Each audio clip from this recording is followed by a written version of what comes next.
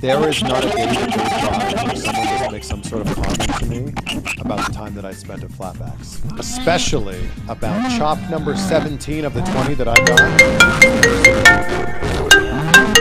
My goodness, it was like a gunshot. Yeah, funny enough, I'm not a chopper. And that's what you said. You're like, I'm not really a chopper. I'm like, ah, oh, I beg to differ. Oh, I'm not really a chopper.